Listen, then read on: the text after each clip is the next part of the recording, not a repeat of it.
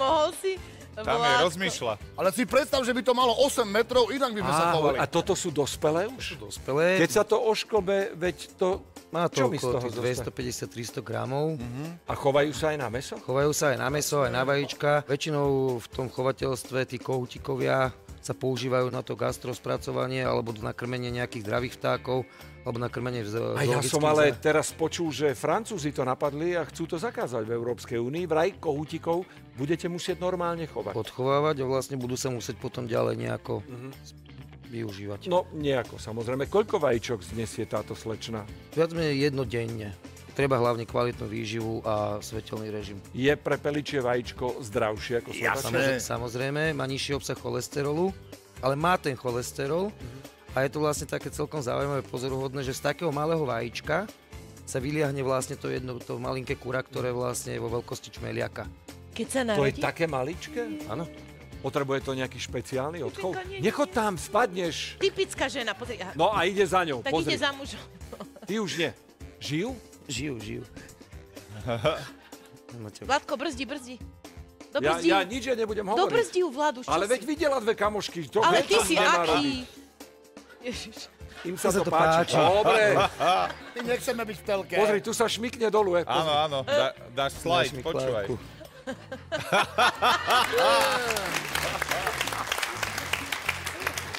Prepele. Vládko, s týmto môžeš ísť do Československo, má talent a budeš vo finále.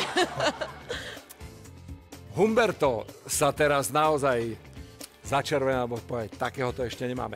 Na prepeličie vajíčka potrebujem pravdepodobne kliešteň, lebo raz som si robil prepeličiu praženicu a bola dosť chrumkavá teda.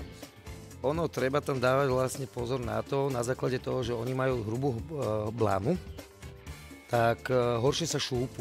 Veľmi zle sa šu. Prepačte, idem vám chytiť prepelicu. Nech sa páči. Nechcel som povedať, že vám idem chytiť vtáka, lebo by to znelo čudne. Ale aj chytiť vám prepelicu nie je buhvico. Michal, v tomto kontexte chytím vám prepelicu, neznie o nič lepšie. Krása. Ďakujeme. Tomuto mám takú vtipnú príhodu. Pre šťastie. Pozdrav. Nie, si povedala, nemám na to. Čakali sme vajíčko, Miluješ zvieratka jesť, čo? To druhé. To, čo si zaslúžime. Koľko máte prepelíc? Prepačte. Aktuálne okolo tých 500-600 kusov vlastne, aby sme vedeli pokryť tú produkciu, ktorú vlastne potrebujeme. A hovorili ste o vtipnej príhode, ktorá vás spája s vašim povolaním. Môj známy chodil k urológovi. A vždy mu niesol ako pozornosť prepeliče vajíčka. Už keď došiel do tej ambulancie a zbadala ho sestrička, tak povedala doktorovi, že pán doktor, že je tu ten pán, čo má tie zdravé vajcia. Pravdu mal, pravdu mal. Keby ešte doplnila, že je tu ten, čo má tie zdravé, tie viete, malé a strakaté. Som verila, že to nepovieš. David Repták, chovateľ prepelic.